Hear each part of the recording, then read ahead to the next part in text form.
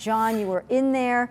Uh, the congressman has left. And how did he look as he was leaving? And, and I'm sure reporters were shouting questions. He didn't seem inclined to talk. Oh no, and he looked very stone faced. He made a beeline right outside the front door to a pickup truck waiting for him. Lots of protesters, lots of media chanting, the protesters chanting, shame, shame, shame. He just looked stone faced, got in the car, and drove away.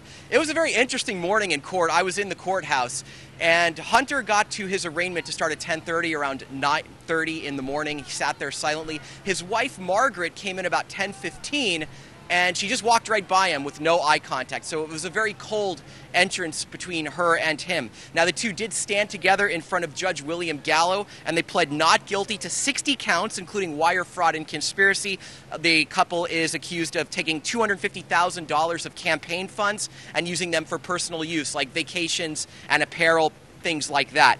Now, the two are out on bail. The prosecutors, federal prosecutors, talked about their dire financial straits, say they are broke, living paycheck to paycheck, and that's why they set Duncan Hunter's bail at 15,000 and Margaret Hunter's bail at 10,000. Both need a co-signer. Duncan Hunter will have to give up his guns by Monday. Now, what's happening next on September 4th at 9 a.m. They will be back here. They're scheduled to appear in front of federal judge Thomas Whelan. But that's what just happened going on for now. And for now, live outside the federal courthouse, John Horn, 10 News. All right. Uh, thank you so much, John.